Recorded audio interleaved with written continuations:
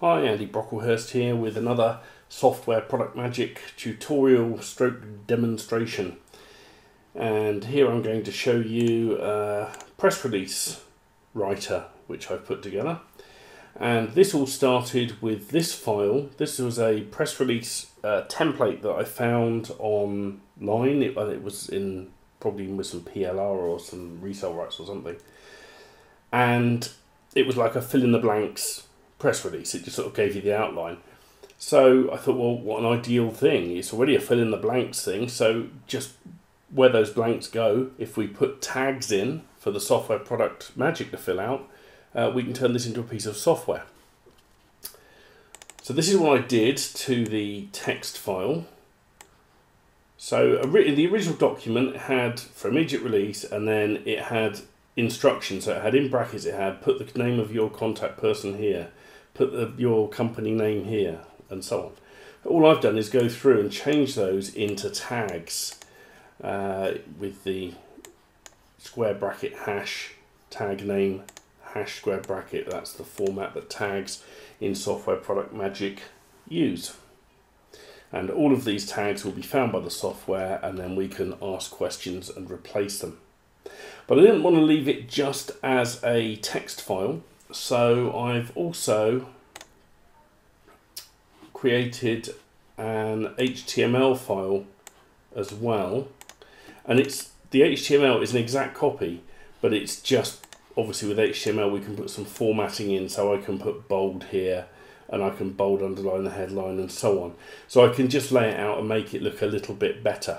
So we give people two options now. When the software does this, it's going to generate both the, stand, the plain text format, which is ideal if they need to upload it to a press release submission service, or they can have the HTML version, which is more suited to printing out and faxing off. So, that's my two documents. Now let's look at what we've done inside the software. So I've called it Press Release Writer, given it a description which will appear on the splash screen because I've told it to show the splash screen at startup. And for the About URL, I've just used softwareproductmagic.com. Obviously, if I created a domain or a web page for this software, then I would link to that. Uh, template folder, that's where those two files can be found. And down here in extensions, the default ones cover what I'm editing here. The two files I've got are a text file and an HTML file. So both of those are already covered in that list. I could put a help URL in here as well if I want to. I'm not going to for now. So then we, I went in here and I hit the scan for tags button and it found all of these.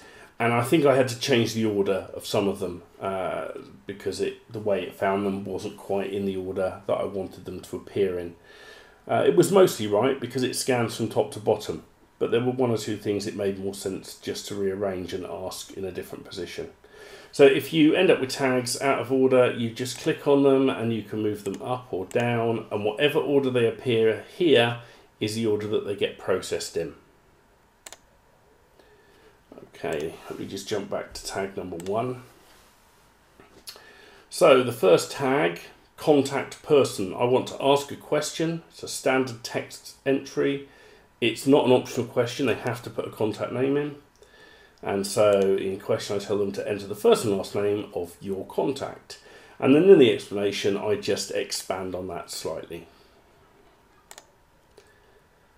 company name. Again, these are fairly self-explanatory, so I'm going to skip through some of these fairly rapidly. Put their company name in, the city where their company is based, and all of these are just standard text questions, so it's going to ask it with a standard text entry box. State or province, enter your state, province or county here. Now, if you were only building this for the US market, then you could have changed that to a list of answers question and then in here, you could have put in a list of comma delimited US states. Uh, it would have been quite a long list, but you could have done that. You could have put, and you would have done it sort of as words and so on, comma, next one. Because I want this to work internationally, uh, then it might be that they can put in a province or a county name depending on where in the world they are. So I've just done it as a text entry box. Telephone number, fax number, and uh, uh, you might want to make something like the fax number optional because not everyone has a fax machine. Email address for them to contact you if they've got any questions or want to ask you more about what's in your press release. Your web address, and here um, enter your web address including the HTTP colon slash slash, and so I've put that in the default answer. So when the software runs, it will create a, a, text entry box like that, and it should put the cursor at the end of the default thing that's entered. So it'll have that in there for them, so they can just start typing from the type the remainder of their web address in. Okay, today's date is going to be taken from a system value of the date in short form. Uh, I'm working the, the software can generate today's date, so there's no point in me asking what is today's date and making them type it in uh, when the computer already knows it. The release date, this will be the release date of the press release. Now note, this is normally today's date. So I've put that tag of uh, with today's date, we've shoved in there as the default answer to the release date question. So remember, in default answers, you can put straight text. You can also use any tag that you have previously defined. So by that, any tag that comes before this one. I couldn't, for example, in that box there, refer to the headline because the headline comes after the release date option, so it hasn't yet got the headline to put in there. All tags are processed sequentially. Okay, what is the headline?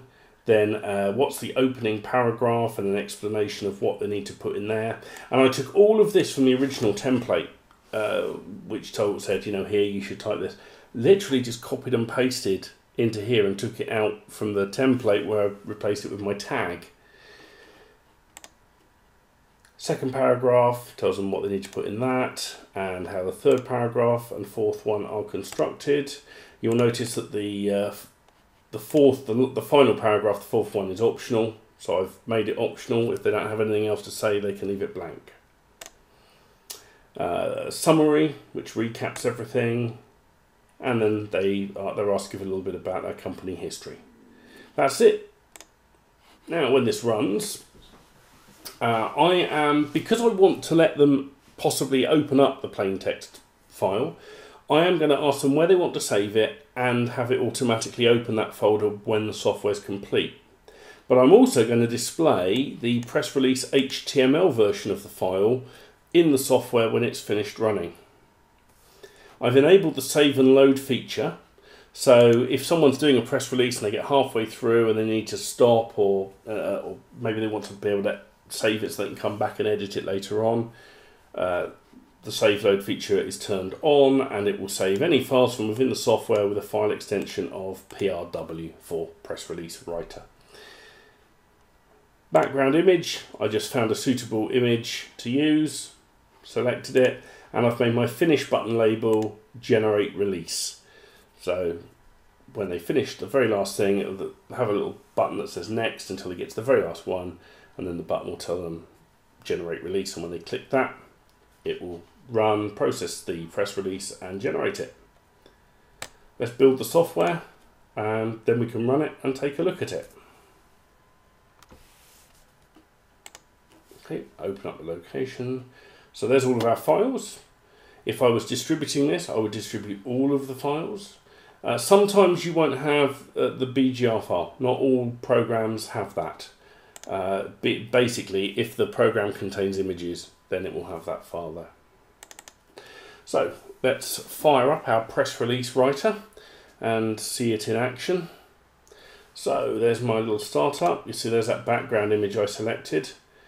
And so instructions, enter the first and last name of your contact.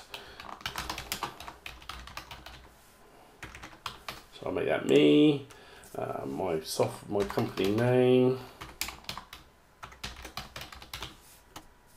Incidentally, I'm, I'm clicking the next button here. The page up and page down keys on the keyboard do the same thing. Uh, page up goes previous, page down goes next. Uh, just a useful shortcut when you're entering uh, data because you're putting in text all the time. You probably don't want to keep reaching for the mouse. So I might do that. Page down. Um, oops. My phone number. Just put anything in there for now just to demonstrate this real quick.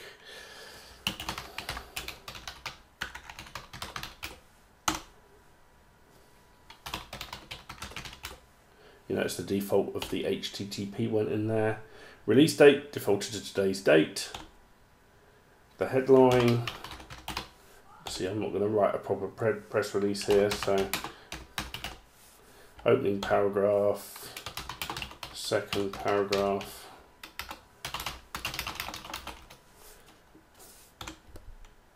Third one.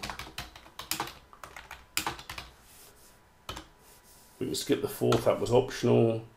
Summary. Company history. Uh, and you'll notice the button, because that's the last question, has changed to generate release, which is what we gave as our label. Hit the button, where do I want to create the files? And there we go. So, and it, you'll notice that it opens up, you can ignore those, I've used a testing folder that had some files in it already. It would have normally opened up like that with just the two files, press release.txt and the HTML file. I can open the text one if I want to and see it in a plain text format. Uh, of course the software itself has opened up the HTML version which looks better. So there's another example application built using Software Product Magic, the easiest and quickest way to rapidly build profit-making software.